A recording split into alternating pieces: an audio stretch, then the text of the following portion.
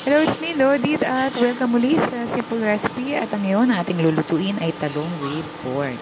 Ngayon, kung ready na kayo, ay magsimula na tayo. Sa isang pan, maglagay tayo ng cooking oil at ilagay yung baboy. Yan. At maglagay tayo ng asin para may lasa yung baboy. Halu-haluin lang natin at hihintay natin mag golden brown at matoast tong baboy. Yan. Wow. Itong recipe na to ay napakasimple lang at sigurado magugustuhan ng lahat. Ngayon, iset aside natin yung ano, baboy.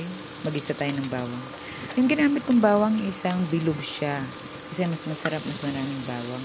At ngayon yung bawang, lutuin natin siya ng mabuti, magba-brown na siya. Kasi magbibigay ito ng kulay do sa ating recipe. Yan. At lagyan natin yung sibuyas. Haluhaluin lang natin yan. Hindi sa maluto yung sibuyas. Napakabango ng bawang. Yan. At pagkatapos, masamahin na natin.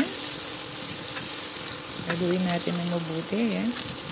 At ngayon, ready na, na, tayong ilagay yung ating talong. Yan. Ating main ingredient. Yung talong.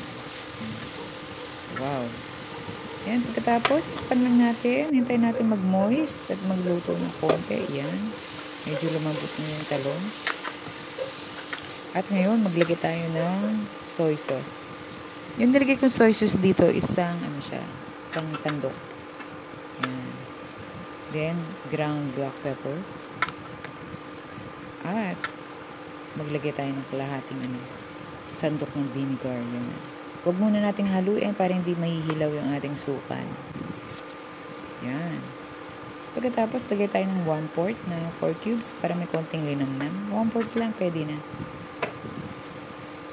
At yan, konting tubig para hindi dry ang ating recipe.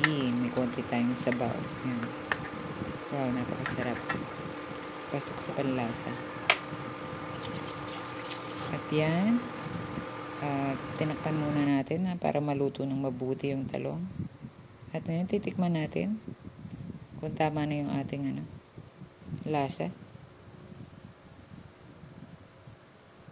Yan, wow, sarap. Tamang-tama sa ating ano. Hmm, tinikman ko pa ulit. Yan, wow, almost done na siya. Napakasarap at sigurado magugustuhan ng pamilya nyo. Maraming salamat sa panonood at huwag kalimutang mag-subscribe sa akin channel at pindutin na rin ang notification bell para updated kayo sa lahat ng mga recipe na aking lulutuin. Thank you and ingat lagi at God bless everyone!